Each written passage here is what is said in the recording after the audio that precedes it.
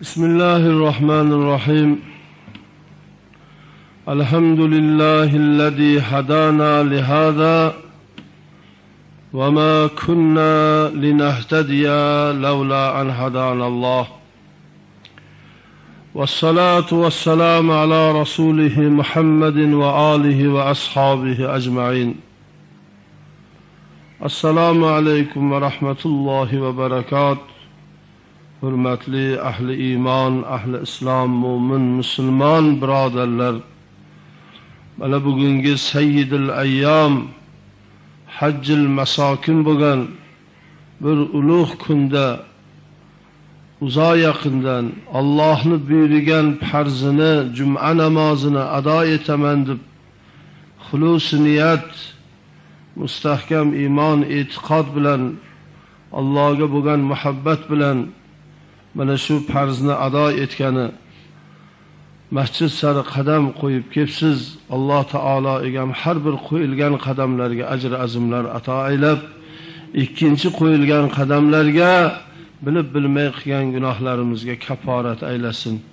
Alloh taolo ibodatlarimizni dargohida qabul aylasin duolarimizni mustajob etsin. Muhtaram birodarlar alloh taolo egamga beadash shukurlar bo'lsin. Shunday bir ulug' kunlarga ulug' zamon vaqtlarga yaratganim yetkazib dini iymon e'tiqodimizni o'rganib boryapmiz.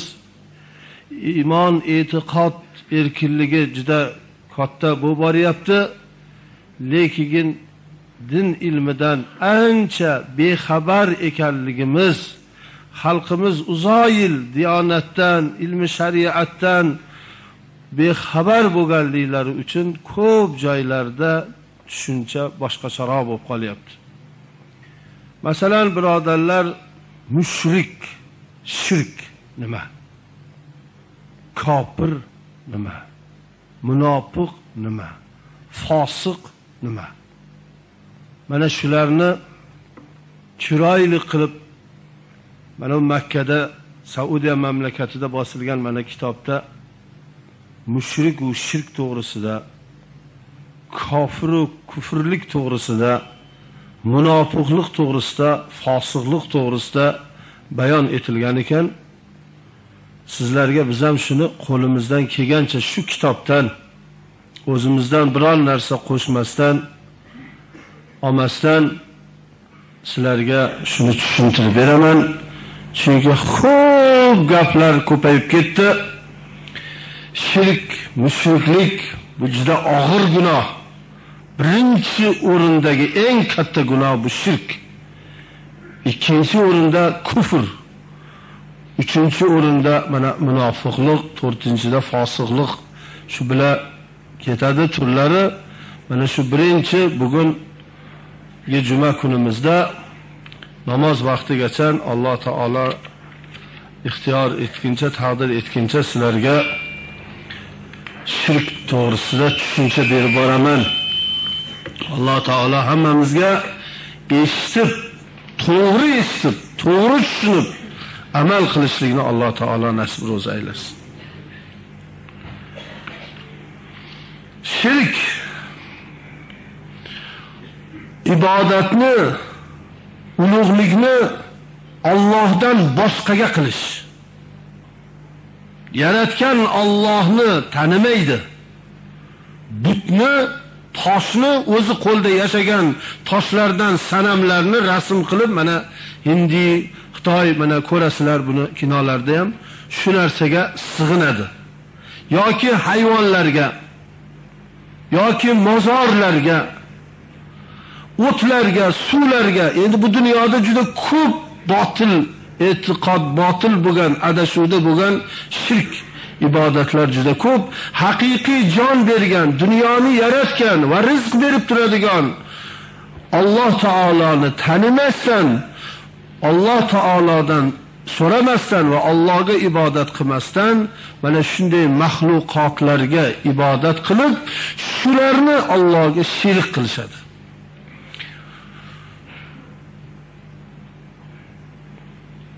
Alloh taolo qur'onda aytadiki astaizu billah inna shirka la zulmun azim. Shirk juda qattiq juda katta o'zini joniga zulmdir. Ya'ni hayotini behuda isrof yo'llarga behuda e'tiqodlarga o'zgart o'rgat o'tkazib yuboradi. Masalan bir buddist uch sutga qimirlamay butiga tikilib ibodat qilar ekan. Hech nima yemasdan. Uch sutga shu toshga bo'lgan mehri toshga bo'lgan ixlosi buni ochlikdan ham qiyinchiliklardan ham qor yog'adimi yomg'ir yog'adimi shunda toshga tikilguncha o'tirar ekan. Sal oyog'ini uzatish yonboshlash gunohkor bo'linadi. Mana qarang bu o'ziga shunday bir katta azobni gunohni yana qiyinchilik bilan sotib olyaptida joniga zulm. Hindistonda bu sigirlarga sig'inadiganlar hatto sigirlarni tabarruk bo'ladi deb axlatini ham yerkan. Maymunlarga sig'inadiganlar bor. O'tlarga suvlarga mozorlarga sig'inish sig'inishlar bor.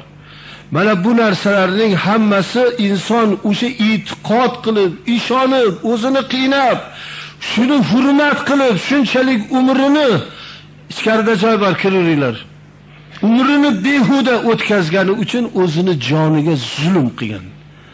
Ham bu dunyoda zulm qilyapti ham oxiratda. Yana alloh taolo aytadiki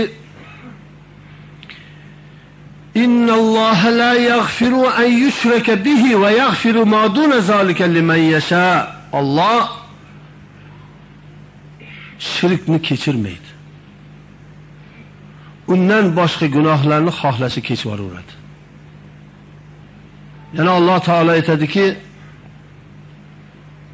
innahu man yushrika billahi faqad harramallohu alayhi jannata ve ma'vahu an-nar va ma liz-zolimin min ansor albatta kimki Allohga shirk keltirgan bo'lsa Alloh uni jannatga vujudini harom qildi. Jannatga umuman kirmaydi shirk mushrik. Va uni o'rni abadiy dovzax bo'ladi. Hech kim u joniga zulm qilganlarga yordam bermaydi.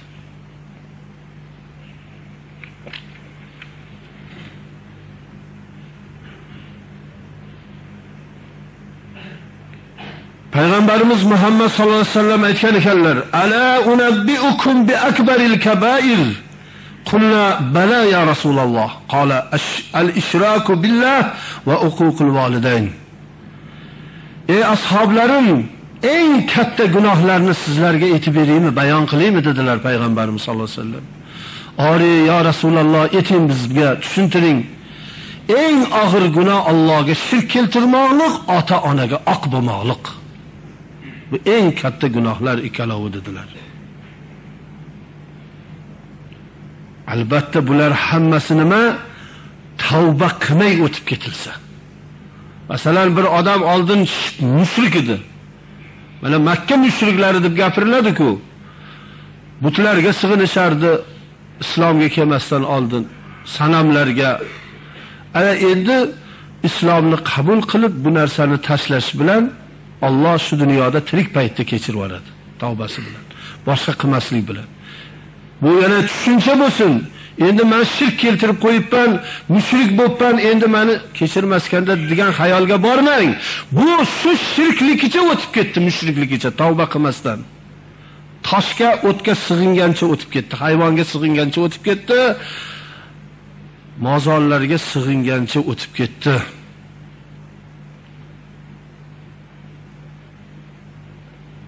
Chunki nima gunoh bo'lmasin hayot paytida dunyodan o'tmasdan turib tavba qilsa gunohni bo'yniga olsa alloh taolo uni kechiradi.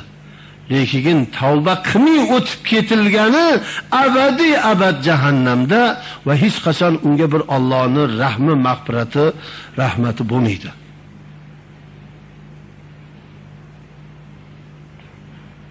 Endi birodarlar shirk ikki navga bo'linadi. Biz ko'pchiligimiz mana shu bitta navni bilamiz. Shirk ikki tur bo'ladi ikki tur. Birinchi turi shirku akbar deydi katta shirk. Dinidan chiqib ketadi do'zaxda abadiy qoladi. Tavbasini Alloh kechirmaydi va Alloh taolo bu ibodat bu katta shirk ibodatini Allohdan boshqaga qiluvdi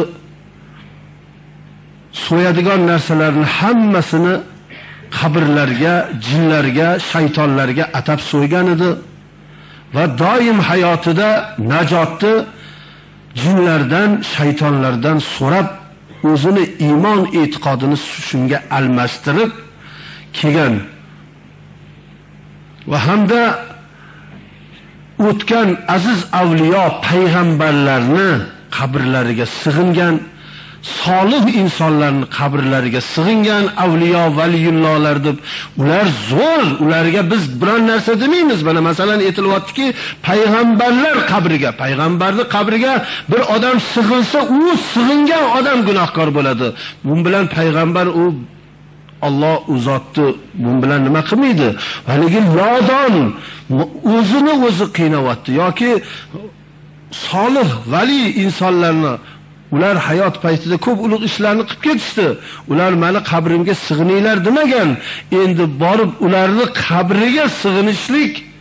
Sig'ingan odamni o'ziga katta gunoh bo'ladi. Mana shu gunohlar eng og'ir gunohlar. Alloh taolo qur'onda aytadiki va ya'buduna min dunillahi ma la yadhurruhu va la yanfa'uhu va yaquluna haula shufa'auna indalloh. Na foydasi bor na zarari tegadi na foydasi bor. Shunday zotlarga bular sig'inishadida va nima deyishadi? Ular deydi alloh taolo o'zi aytyapti bizni qiyomatda shafiy qiladi bizni do'zaxdan saqlaydi bular. Ye payg'ambarlarni qabri bo'lsa avliyolarni qabri bo'lsa bularni qabriga sig'insak bularni haqqiga atab mol qo'ylarni so'ysak bizlarga shafilik qiladi qiyomatda deydi. Lekin ular na foyda bera oladi na zarar bera oladi o'zini mushrik bo'lib qolganligi qoladi. Mana bu hozirgi aytgan shirk shirki akbar deyiladi. Esdan chiqarmang. Hali boshqa shirklar ham keladi asqarda. Shirki akbar bilan shirki asqarni ot bilan tuya farqi bor. Mana shirki akbar ettik butlarga sig'inadi o'tlarga sig'inadi hayvonlarga sig'inadi mozorlarga sig'inadi. O'tgan avliyolarning nomini atab yoki jinlarga yo shaytonlarga bor shundaylar. Hozir bizda ko'payib qoldi shaytonga sig'inadiganlar jinga sig'inadiganlar. O'shanga iymonini almashtirib qo'yishyapti. Mana bular shirki akbar. Ana endi shirki asg'ar nima? Shirki asg'ar ya'ni kichik shirk degani kichik mushriklik. Dinidan chiqib ketmaydi. Faqatgina vahdoniyatiga tavhid e'tiqodiga zarar nuqson yetadi lekin ha deb shuni qilaversa katta shirkka olib borib qo'yishi hech gap emas deyiladi. Vaqtida buni tushunib bundan qaytish kerak deyiladi. Endi shu kichkina shirkni shirki asg'arni o'zi ikkiga bo'linadi. Birinchisi ko'rinishda zohiriy shirk yo til bilan yo harakat bilan fe'l bilan. Tildagi qasamni Allohning nomidan boshqa narsa bilan qasam ichish shirki asg'ar hali shirki akbar hali katta shirkni qo'yib turing. Boyagi aytganlarim do'zaxda abadiy qoladi amallari bekor bo'ladi qilgan savob ishlarini ham bekor qilib oladi degan haligi katta shirk Alloh kechirmaydigan shirk u bu yerda endi kichkina shirkka o'tdik. Non ursin otamni arvohi ursin degan qasamlar shirki asg'ar bo'ladi. Kichik shirk. Ya'ni gunohkor bo'ladi odam. Allohni nomidan boshqa nom hech qaysi qasam ichilmaydi. Shunday qasamlar bor eshitganmiz ham ba'zi joylarda. Hazrati alini qilishiga qasam onamni qo'ldagi tasbehiga qasam dodamni oppoq soqoliga qasam enamni arvohiga qasam bunaqa qasamlar ko'p. Jangi buvamni nomiga qasam mana shunaqa qasamlar. Non ursini ko'p bizda. Kalomillo ursini ko'p bizda. Ko'p odamlarning tilida. Yo'q Alloh faqat uradi Alloh nomiga qasam ichilinadi. Boshqa qasamlar o'tmaydi. Shirk bo'lib qoladi. Shu esda tursin.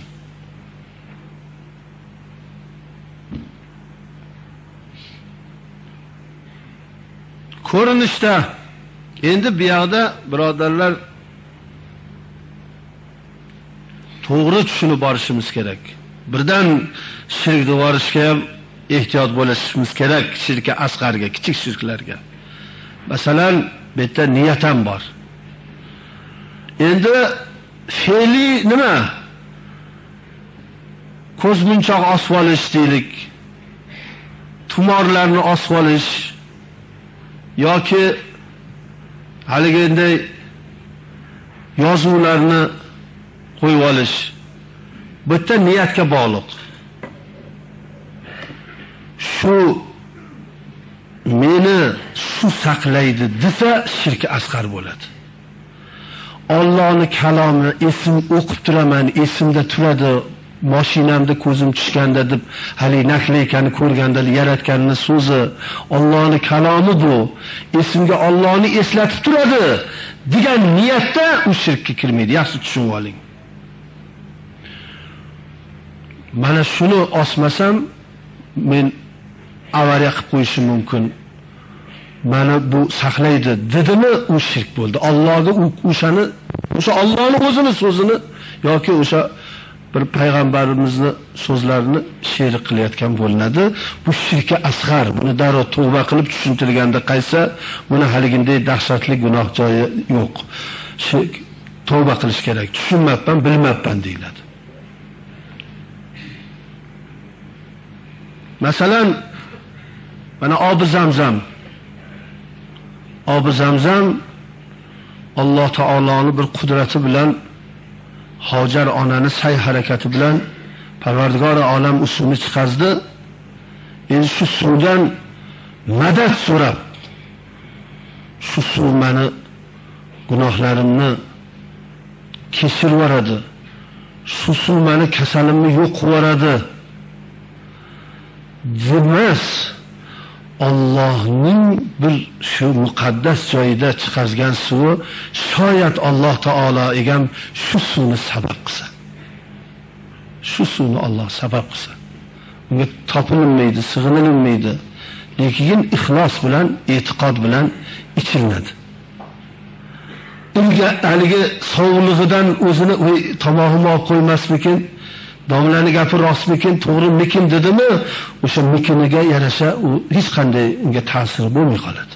Tomog'ini ham olib qo'yadi kasaliga ham shifo bo'lmay qoladi. Lekin niyatni to'g'ri qilib hadislarni esga olib turib payg'ambarimiz aytganlaridaqa ixloslar bilan bo'lsa unda boshqa ko'p narsamiz bu yerda ixlosimizga bog'liq.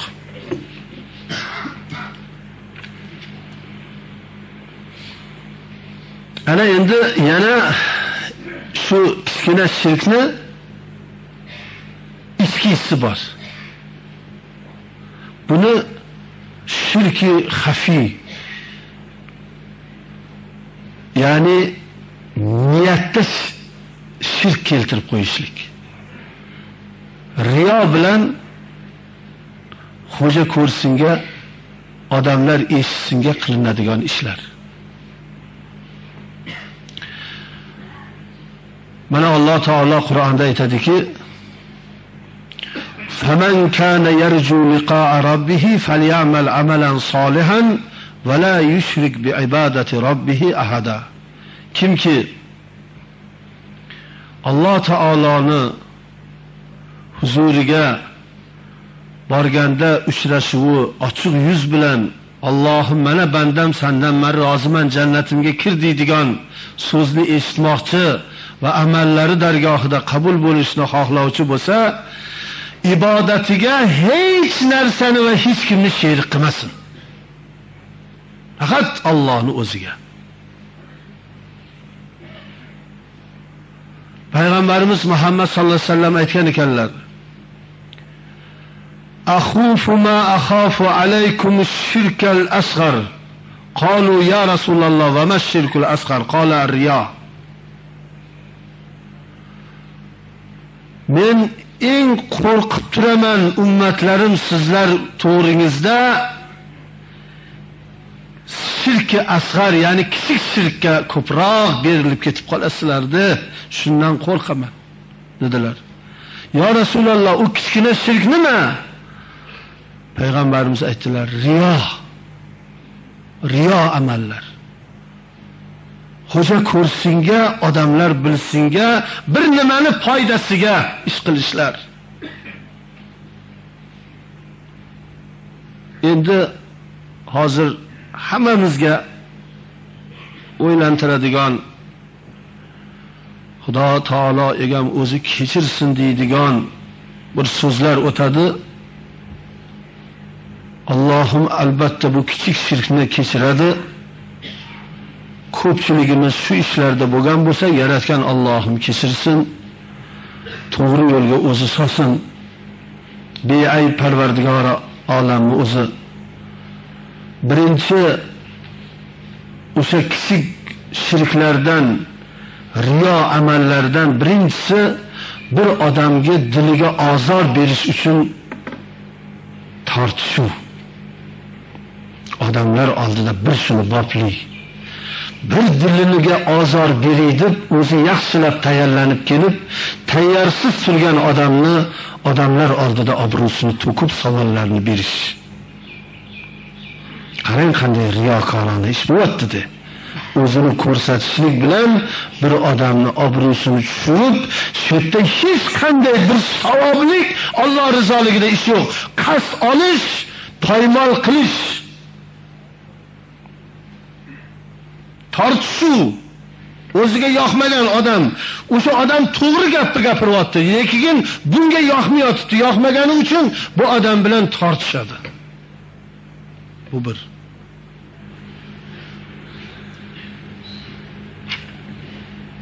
Mana shunga o'xshagan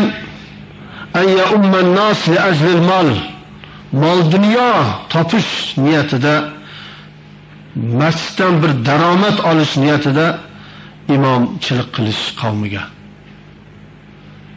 Masalan mana shu sizlarga imom bo'laman menga besh ming o'n ming pul ajratasizlar deb shu mol dunyo niyatida imom bo'lib yurishligi. Yoki shariat ilmini menga mana shunchadan pul berasizlar men sizlarga ilm o'rgataman shariat ilmini. Yoki jihodga mol dunyo bir boyib ketarman kofirlarni bir qirsak yurtini bosib olsak keyin u kofirlarni yig'ib qo'ygan xazinalardan olib qolarman deb mol dunyo uchun jihod qilsa. Mana shular hammasi riyo amallarga kirib bu shirki asg'ar deyilar ekan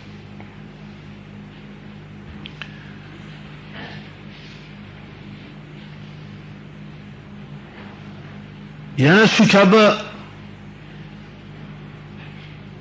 bu narsadan qutulish yaratgan Allohni o'ziga ixlos qilishlik. Hamma narsani Alloh taolo egamni o'zidan so'rashlik. Va shu qanday bir amalni qilmasin birinchi o'rinda Allohning roziligini o'ylab turishlik. Agarda Allohning roziligini emas. Odamlar maqtovini odamlar ko'rsin odamlar bilsin deb sadaqa odamlar bilsin deb osh beradimi odamlar bilsin deb sadaqa qiladimi odamlar bir ko'rib qo'ysin man qanday qur'onni qoyillatib o'qiyman deb qiroat qiladimi yoki odamlar ko'rib qo'ysin mani ilmimni qanaqa zo'rligini deb ilmini ko'rsatadimi? Mana bularning hammasi shirk asg'ariga kichik shirkka kirar ekan endi bu yerda niyat yana aytaman. Odamlarni qalbini eritay Allohning kalomini chiroyli qilib zinatlab ovozimga zinat berib o'qib odamlarni qalbini eritib din liyonatga burayin deb qiroat qilsa u shirk emas. Ko'p narsa niyatga bog'liq birodarlar. Chunki sarvara olam innamal amal bin niyat deyapti. Endi mana bu yerda bir odam domlachilikka keldi. Uni boshqa ishi yo'q qilolmaydi endi uni ham bola chaqasi bor. Boyish shundan bir katta bir mol dunyo yig'ishmasu bola chaqasiga bir yegulik bir narsa bo'lishlik. Niyatida turibdi. Boshqa ishdan voz kechib masjidda bo'lib turibdi. Mana bu boshqa.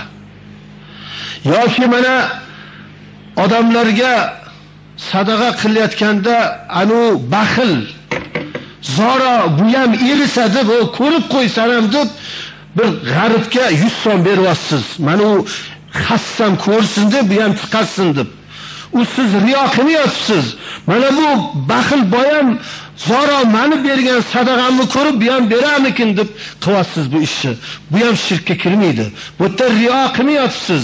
Shu odam zora mani berayotgan narsamni ko'rib bu ham bir yonini kovlab bu ham menda qil bor-ku bunda ham bu ham bir sarf qilamikin deyapsiz u, yo ta'sir qilsa qildi yo qilmasa yo'q.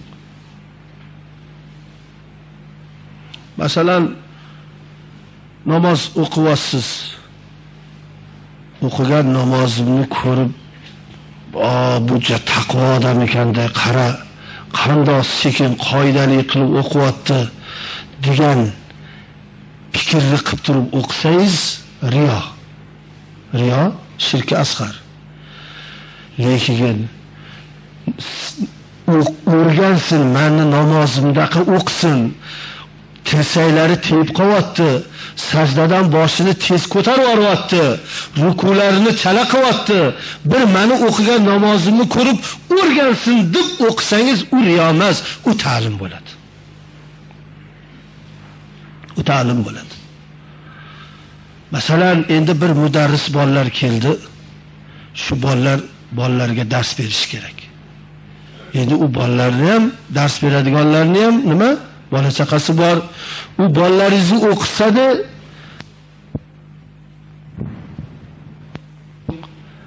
endi unga ham mumkin emas. San dars bersang tekinga dars ber. Qoyillatsang eplasang qil. Bo'lmasa yo'q. Desangiz yo u ish qiladi yo bolalarga dars beradi. Ana u odam uchun ham mudarris uchun ham maosh ajratib qo'yish u shirkka kirmaydi. Endi faqat shuni kasb qilib olib shu orqali ko'paytiramanni payiga tushib qolinsa u albatta shirkka bo'lib qoladi. Hasi besh qo'l barobar masjid odamlar ham har xil. Hatto ba'zilar to'g'ri xolisan lillo indamay nima bo'lsa o'tkazsa ba'zilar savdolashib yuborar ekan ham ba'zilar gapirib ekan ham shumi endi bizniki deb. Bu narsalar hammasi xudoni taqdiriga irodasiga bo'yin egmaganligi taqdiri ilohiga tan bermaganligi Allohim rizq nasibani halolidan o'zi biladi qanday qilib yetkazishni ming yugurganingiz bilan Alloh nasib etgani bo'ladi. Bizani endi eng shirki asg'arimiz nimada bo'lyapti? Shirki asg'arimiz ziyofatlarda bo'lyapti xayri ehsonlarda bo'lyapti. Xayri ehson deb nomlanib haliyam odamlar uchun qilayotganimiz ma'lum bo'lib qolyapti. Kichikroq qilib o'tkazsangiz bo'lmaydimi degan javobga endi odamlar gapiradi. Qilmasangiz bo'lmaydimi? Odamlar gapiradida shartmi? Yetti oy sanasi to'qqiz oy sanasi o'n bir oy sanasi. Shuni o'n besh oy o'n olti oyda qilsangiz bo'lmaydimi? Odamlar gapiradi mana o'zidan o'zi tili bilan shirk ish qilayotganini gapiryaptida siz odamlardan qo'rqyapsizmi? Xudodanmi? Bitta gapni gapiring. Qilayotgan ehsoningizni odamlar uchunmi? Olloh uchun otangizga savob olloh beradi-ku. qaysini qilyapsiz o'zi? Bunday savolni o'zimizga beraylik. Alloh taolo qiyomatda aytar ekan ha? Qancha odamni chaqirding? Ha bir besh ming to'rt ming odam keldi. Nima niyatda qiluvding? Shu ota onamgayu o'zimga bir savob bo'lsa yolg'onchisan. Man qaytda shunaqa qilgin deganman. San obro' orttirish uchun odamlardan qo'rqib yo uyalib gap so'zdan qochib shu ishlarni qiluvding. Ana o'sha qo'rqqan odamlaring sani jannatga kirgizsin sani do'zaxdan o'shalar olib qolsin endi. Shularni gapidan qo'rquvmiding?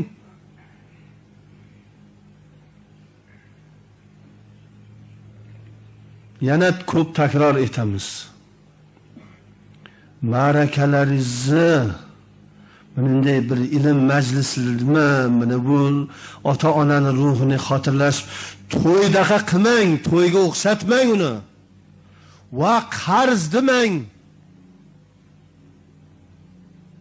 El yurtnikini yeganman balam yedirmasam bo'lmaydi dedingizmi u hech qanaqa savobga kirmaydi. Qarz to'layapsiz o'sha o'zi qarz deb nomlangan bo'lsa. El yurtga kim qarz deb beradi oshni shuni qarz deb berayotgan bo'lsa o'zi gunohkor bo'ladi. Qarzni borib yeyolman degani ham bo'lmaydi. Mana allohimga beadad shukurlar bo'lsin.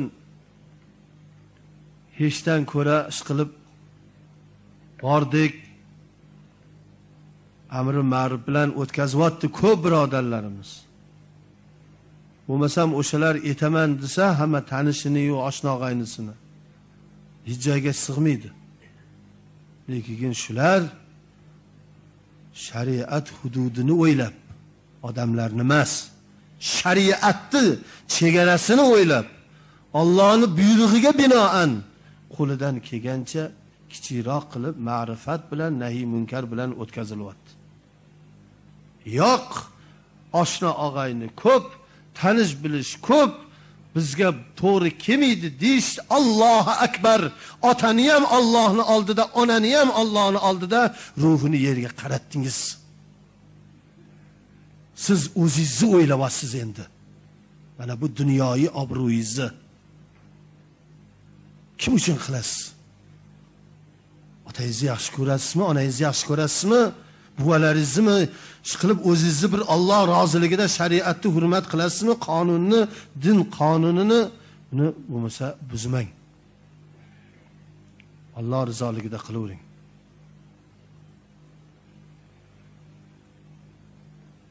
bitta eshakka ota bola minib ketayotganda ham odamlar aytgan ekan bitta eshakka ikki kishi minib olishibdi deb.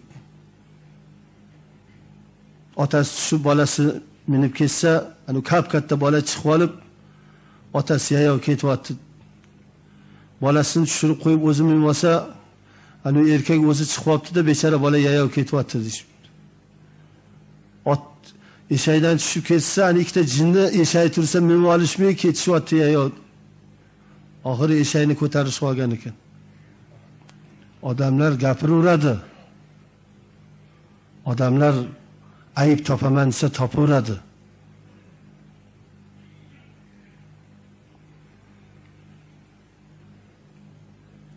tavakkaltu alalloh deb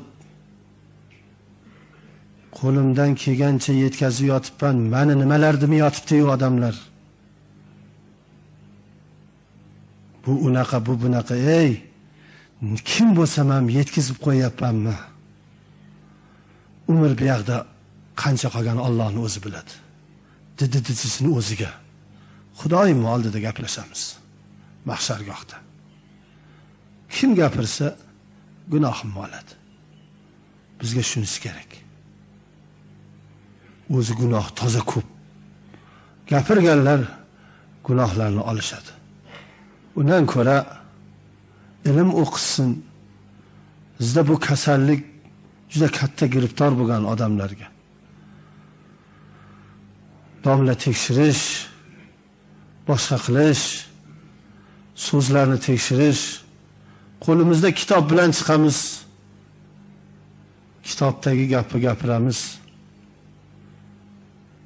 Lekin shuni yaxshi tushuning.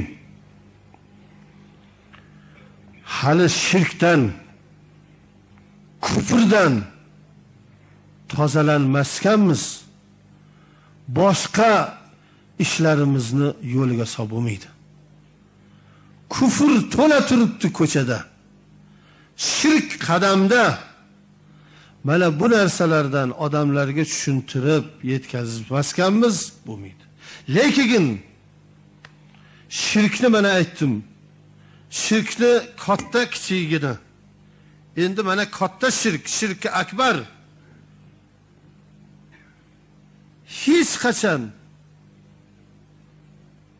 dinda millatida turmaskan millati ibrohimdan chiqib ketadi. Shirki akbar.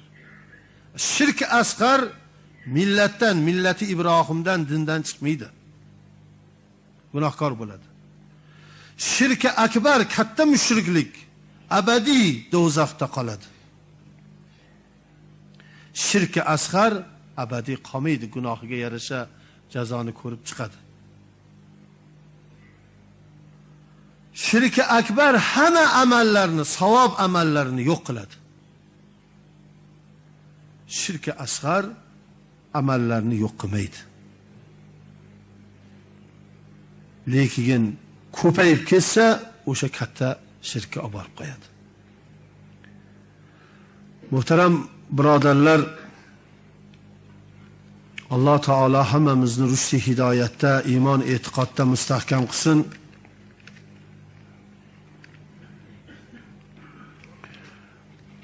Mana shu shirk juda nozik narsa. Endi buni tushuntirayotganda muhtaram gapirib yuradigan da'vat qilib yuradigan birodarlarimiz katta shirk bilan kichik shirkni farqiga borib gapirishsinki ba'zilarini qattiq gapirib yuborib din diyonatdan chiqib ketishiga sabab bo'lib qolinyapti. Sani bu ishing shirk tamom hamma qilgan ishing yo'q bo'ldi. Deb yuborilsa kichkina shirk qilgan odamga ko'yni bezillab susayib qoladi. Bu ishingizni boshqa qilmang. Bu yo'ldan qayting. Endi haligi shirka akbarga qaysi kiradi? Haliyam moshina moshina bo'lib borib sultonimni ziyorat qilamiz. Shohi mardonni ziyorat qilib kelaylik. Bahovoddinni ziyorat qilib kelaylik deb o'sha joylarga borib qo'y so'yib sig'inib madad so'rab kelayotganlar bor. Bizda yana nimalar ko'p? Otalar ko'p qabrlarga otalarni ko'p qo'yib yuborganmiz. Ilonli ota so'gonli ota cho'pon ota miton ota vaqqos ota otalar ko'p juda. O'sha otalarni ma'lum miqdorda shayxlar o'sha otalarni nomi bilan odamlardan foydalangan. Nimaga din eskirib yo'ldan chiqib ketilinadi mana shu shirklik olib keladi. Shuning uchun birodarlar musulmonlar dinidan susayib mushrik holatiga aylanib qolib qul bo'lib qolishimizga sabab bo'lib qolgan narsalar shular. Allohga emas otalardan madad so'rashga otalardan madad so'rashga o'rganib qolganmiz. Hamisha Alloh bo'lsin yodingizda. Hamma narsani Allohdan so'rang. Alloh fayz beradi Alloh baraka beradi Alloh saqlaydi. Boring ulug' zotlarni ziyoratiga o'sha ham Allohdan ularga so'rang. Alloh ularni rahmat qilsin. O'shatda turib Allohdan so'rangki yo Rabbim bir ulug' insoningni solih bandangni ziyorat qilgani keldim. Oxir ziyoratimni dargohingda qabul qilgin. Shularga o'xshagan iymon e'tiqod bergin. Muhabbatni bo'lish kerak emas. Muhabbat Allohga. Eng haqiqiy muhabbat ishonch umid yaratgan Alloh taoloni o'zidan bo'lishi kerak. Yana ko'p narsa takror etaman. Niyatga bog'liq. Masalan bir odamga o'qitgani boryapsiz bularni ham gapirib qo'yaylik hayotda kerak bo'ladi. Bir odamga o'zingizni dam soldirgani boryapsizda shu odam bir dam solib qo'ysa yaxshi bo'lib qolaman desangiz shirki asqar bo'lib qoladi.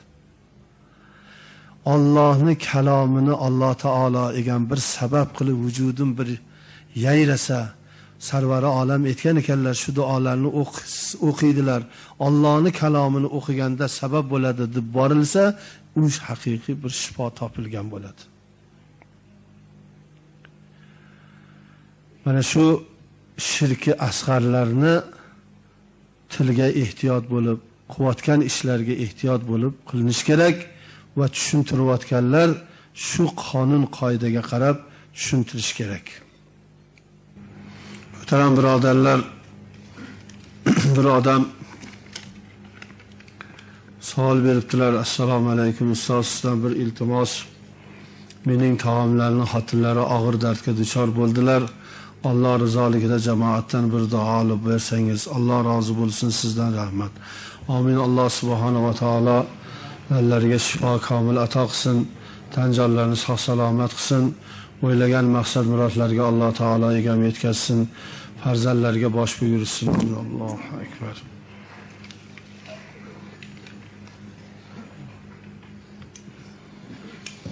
Muhtaram birodarlar mana janoza namoziga uzoq yaqindan kelinadi. Janozaga deb aytilganda albatta tahorat bilan kelish kerak. Tahoratga hech iloj bo'lmagan taqdirda masjidlarda hamma joyda tahoratxonalar bor inshaalloh robbil alamin. Lekin juda endi imkon bo'lmaganda tayammum ham qilish kerak. Lekin hech qachon masjidga kelganda qo'l qovushtirib turmang endi. Bizni haligi dinsizlar payti o'tib ketdi. Bahona sabablar oldin juda ko'p edi. Endi hech qanday bahona yo'q. Hech qanday bahona yo'q. Nimani bahona qilasiz? Bilmadim desangiz kitoblar tiqil yotibdi bildiradigan. Besh so'mga o'n so'mga sotilyapti hamma joyda. Hozir boshiga oq do'ppi kiygan bolani to'xtatib so'rasangiz sizga besh minutda tushuntirib qo'yadi. Endi uyaling. Yaratgan Allohim iymon ato qilsin al hayo minal iymon bo'lsin. Endi benamoz bo'lib yurishlikka uyaling. Yoru do'stlaringizdan uyaling. Oldin masjidlarda butun qariyalar bo'lardi.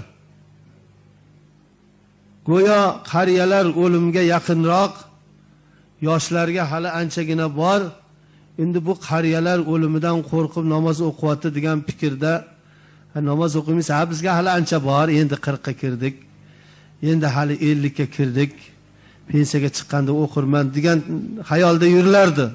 Hozir bolangiz tengi namoz o'qiyapti nevarangiz tengi namoz o'qiyapti. Namoz bu ne'mat. Namoz bilan Alloh rozi bo'ladi. Namoz bilan Alloh rozi bo'ladi. Allohni kimki rozi qilay desa namoz o'qisin. Shu Allohni aytgani shu. Butun o'tgan payg'ambar sunnati namoz. Duolarni qabul bo'lishiga bo'ldirtiradigan namoz. Amallarni qilinadigan savob ishlarni qabul qildirtiradigan narsa namoz. Rizqingizga baraka namoz. Kasbi koringizga baraka namoz. Dushmanlaringizga do'st qiladigan namoz. Do'stlaringizni ko'paytiradigan namoz. Tog' tog' gunohlarga kapporat bo'ladigan namoz deganlar Muhammad Mustafa sollallohu alayhi vasallam. Shunday ne'matdan nima yuz o'girasiz shunday ne'matdan nimaga yuz o'girasiz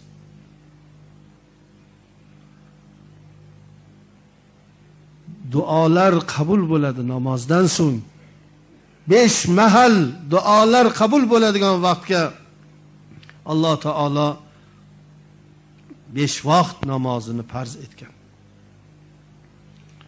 qanchadan qancha savob ishlarni qilingu boshingizni sajdaga tegizmasangiz qanday bo'ladi? Namoz bu hujjat hujjat. 70 yil 80 yil toshkanda yashagan bo'lingu pasportingiz bo'lmasa tekshirib qolsa qani pasportingiz yo'q ekan endi shahardan chiqib keting tug'ilib o'sganman bu yerda. Mani shahrim xo'p hujjatingizni ko'rsating deydi. E, hujjat bo'lmasa yo'q. Yo'q odamsiz pasport bo'lmasa. Va dodam eshon to'ra o'tgan 14 asrdan beri musulmon bo'lishgan. Musulmonni bolasiman hujjating qani bandam ho'p oting Mahmud ekan, buvang oti Ahmad ekan, qani bu yog'ida? Hujjat shuni tasdiqlaydigan. Namoz hujjat.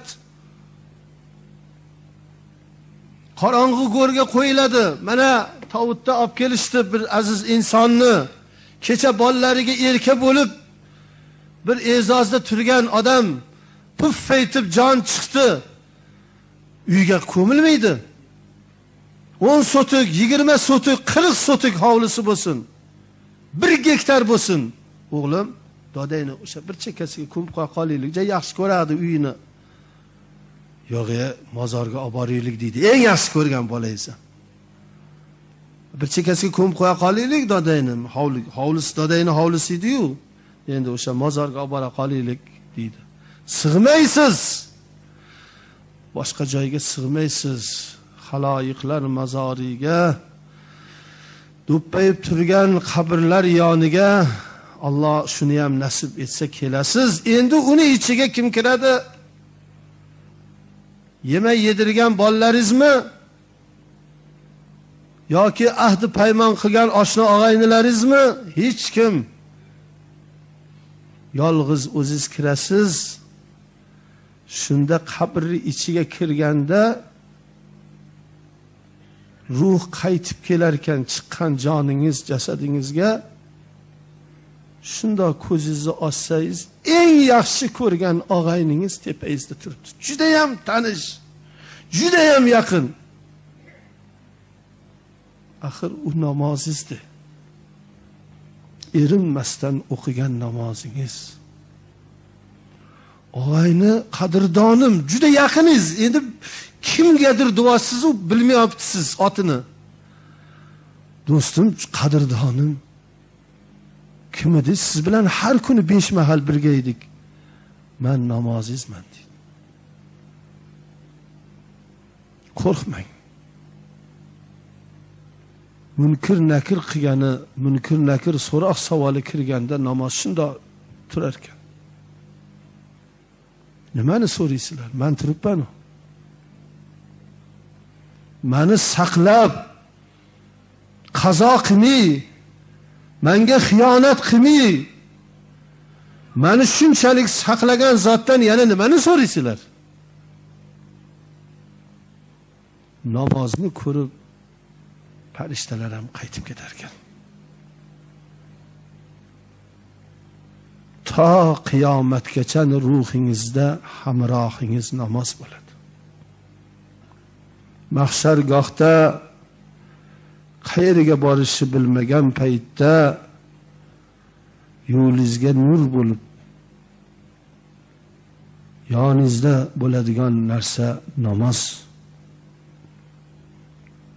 jannatga kirishingizga namoz. Alloh taolo oldida sizni mo'min musulmon ekanligingizga guvohlik beradigan namoz. Kimki bu namozga beparvo bo'libdi kimki bu namozni hurmatlamabdi. Kimki namoz o'qidigan odamni jahli chiqib yomon ko'ribdi. O'zini joniga voy ey eh, iskandarlar ham o'tgan. Tovutdan qo'limni chiqazib qo'ying. O'tgan qancha qoringa o'xshaganlar. Mol dunyoni ham topganlar. Ne ne insonlar o'tyapti? Lekin kim? Podshomi gadomi boymi kambag'almi? Kim bo'lishidan qat'iy nazar namoz tashlamasin namoz ibodatning boshi. Agar ibodatda bosh bo'lmasa ya'ni tanda bosh bo'lmasa u tana hech qancha yasholmaydi va namozga hech qachon uzr yo'q. Hozir ko'p masjidlarga borsak tepani qilib olishib boshlarini bunday stolda o'tirib boshlarini bunday qilib tepaga sajda qilinyapti. Unaqa qilinmaydi uni olib qo'yingda ruku mundo sajda mundo bo'laversin. O'sha shariat ko'rsatmasi. Bu masihiylarning oldida sham qo'yib qo'lini bunday qilib o'tirishiga o'xshab qoladi u namoz o'qish. Uni oldimizda musulmonni oldida hech nima bo'lmasin. Man tushuntiray endi mayli mikrofon nimaroq mana shundoq o'tirganda ruku mana sajda mana. Uni shart emas bunday qilib boshni tekkazish shart emas. Mana mana. Ana shunday bo'lib o'qilsin shuni yaxshi tushunib oling. Undan keyin sunnat namozda qiyom farz parz farz namozda qiyom farz tikka turish sunnat namozda qiyom sunnat. Farzga kuchni yig'ib olib endi oyog'i og'riyotganlarga yoshi ulug'larga aytyapmanda farz namozga kuchni yig'ib olib harakatni qiling. Sunnatni o'tirib o'qisangiz ham bo'laveradi. Sunnat tikka turish. Farzda tikka turish farz. Qiroat farz. Yana birodarlar? Tahorat bahona bo'lmay qolsin. Tahorat qilolmadim kiyimimga sachrab ketuvdi. Namozni vaqtini o'tkazmang. Tayammum qilib o'sha sachragan kiyimda o'qingki namozni vaqtini o'tkazmang. Qiblani topolmayapsizmi? Qiblani tavakkal oling. Namozni vaqtini o'tkazmang. Alloh taolo hammamizni rushdi hidoyatda qilsin iymonimizni salomat aylasin. Mana shunday issiq joylarda Allohning rizoligini deb mo'min musulmon birodarlarimiz o'tirishibdi. Yo rabbiy shularni vujudini do'zaxqa harom qilgin. Allohim jannatdan nasib etgin. Hammamizni o'ylagan maqsad murodlarimizga yetkazgin. Yo rabbiy bizni ketimizdan gapirib yurganlarga inson topib bergin. Do'stlikni birodarlikni ittifoqlikni jam qilgin. Yo rabbiy tafriqa degan bir balo bor buni musulmonlar orasidan olib tashlagin ilohiy musulmonlarni dili tili bir bo'lsin. Bir biri bilan ittifoq bo'lsin. Yashab turgan yurtimizga tinchlikni bergin. Balo ofatlardan saqlagin. Yo rabbim mustaqilligimizni mustahkam qilgin. Dehqonlarimizga barakot bergin. Qishin yozin harakatda bo'lishadi. Yo rabbim harakatlariga qarasha barakotini bergin. Har xil o't balo suv balo zilzila balo to'fon balolaridan o'z panohingda saqlagin. Parvardigori olam hammamizni o'ylagan ulug' maqsadlarimizga yetkazgin. Din islomga quvvat bergin. Hamma ahli namozxonlardan bo'lsin. Robbana atina fid dunya hasanatan va fil oxirati hasana va qina azoban nar bi rahmatika ya arhamar rohimin alloh taolo berganga beradi. Va tarzuqu man tashau big'ayri hisob Alloh bandaga behisob rizqni beradi. Xohlaganiga beradi. Musa alayhissalom bir shahardan o'tib ketyapsalar bir odam qumga ko'milib yotibdi. Ha? Nimaga qumga ko'milib yotibsan yo'lingizni poylayotibman payg'ambar. Kiyim yo'q kiyishga. Tushunsin odamlardan uyalganimdan qumga ko'milib yotibman. Bir duo qiling boy bo'ling mana. Musa alayhissalomning ko'zlariga yosh kelib qalblari erib yo rabbiy shuni kiyishga kiyimi yo'q ekan shu holatga tushib qolibdi yo rabbiy boy qilgin behisob nima ber deb duo qilib yuboribdilar rahmlari kelib. Bir ikki yildan keyin o'sha yo'ldan yo'llari tushib o'tib qolsa bir mazur kiyim olgan to'rtta soqchi bu yoqqa tortadi. U deydi. Bunday qarasa muso alayhissalom haligi qumda ko'milib yotgan zo'r kiyim olgan mas o'zi soqchilar olib ketyapti. Bir odamdan so'radi bu kim bu? Qanaqa odam? Ya bir g'arib jim yurardi odamlarga ham qo'shilmasdi kiyimini ham bir tayini yo'q ediyu birdan boyib ketib qoldi. Bosar tisar bos bilmay qoldi. Qilich sotib oldi kim gapirsa qorniga pichoq tiqib yuboraveradi uni kallasini olvoraveradi hech kimga kun bermaydi zo'rman deydi pulim ko'pman deydi hamma joyda ishkal chiqazadi oxiri podshoni g'azabi keldi hozir ham ikkita odamni o'ldirdi. Endi kallasini olib olgani olib ketyapti. Alloh seni ham ishingga aralashamanmi parvardigor. Kimga nimani berishni o'zing bilar ekansan Allohim? Tavba qildim.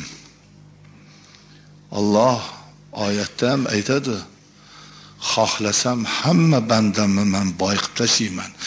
Manni deydi Alloh hadis qudusiyada ham butun yer yuzidagi o'lganu tirigu boru yo'g'u mendan bir narsani xazinani so'rasa hammasiga xazina berishga qodirman va bu berganim bilan mendan hech narsa kamaymaydi deydi Alloh.